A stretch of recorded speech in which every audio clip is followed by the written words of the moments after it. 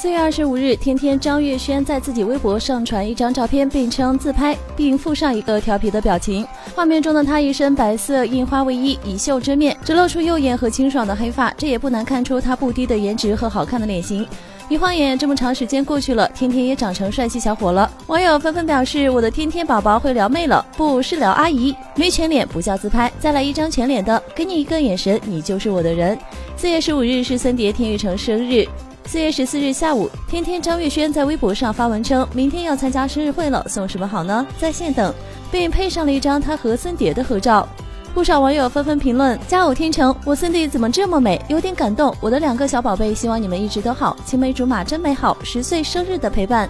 其实一七年，天天曾跟着爸爸张亮参加了森碟生日会，还晒出了两家人的合照，两家人感情可以说是十分深厚了。